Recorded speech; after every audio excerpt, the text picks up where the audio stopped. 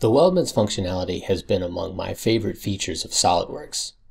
It's a great way to get a crazy amount of design work done lightning quick, especially when you compare it to how we used to do it, sketching out the profile shape for the structural steel we wanted to use, and extruding that out to the correct distance. SOLIDWORKS changed the game in 2019 with the introduction of the structure system. By reducing the reliance on sketch lines to create structural members, the SOLIDWORKS structure system really cuts down on wasted motion, allowing you to breeze through design work quickly and efficiently. In 2020, SOLIDWORKS has added even more flexibility to the structure system, giving you options to speed through your structural design projects. Let's take a look.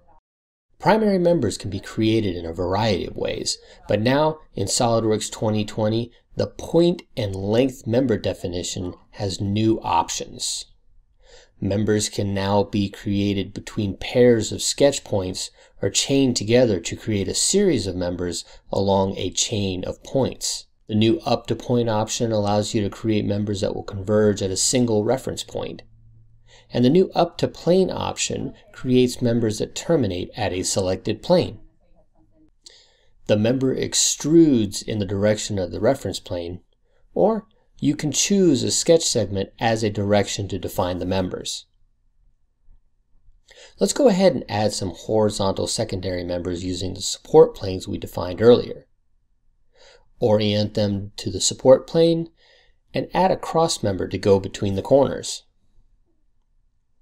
In 2020, primary and secondary members can now be split during creation using dimensions, instance count, or by selecting a reference such as a face, plane, or structural member, saving us time on trimming these members later.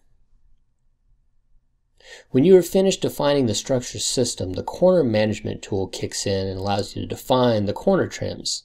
For the simple corners, we'll define a planar trim with full contact to the intersecting member.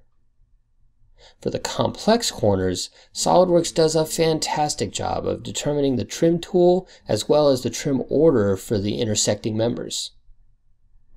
Hiding this vertical member, you can see what a great job SOLIDWORKS did in corner management. To create the circular structure, we need to pattern the structure system. Previously, bodies can be patterned to achieve this, but now in SOLIDWORKS 2020, you can create linear and circular patterns or mirror the entire structure system. By patterning the structure system, you are maintaining the intelligence of each of the members, allowing you to add additional structure systems in the next step. This was not possible when patterning bodies previously. Let's add a support between our original structure using the previous method align the structural member, and let SOLIDWORKS automate the corner cleanup. Patterning this structure will complete our design. After having a look at these new features in the 2020 release of SOLIDWORKS, it's crazy to think how we got any work done using the old methods. Guys, I hope you got a lot of value out of that video. If you did, make sure to hit the subscribe button down below and be kept up to date with the latest in SOLIDWORKS news from MLC CAD systems. If you want to ensure that you're getting the most value out of your investment in SOLIDWORKS, reach out to your local MLC CAD systems representative and start a dialogue. And as always, thanks for watching.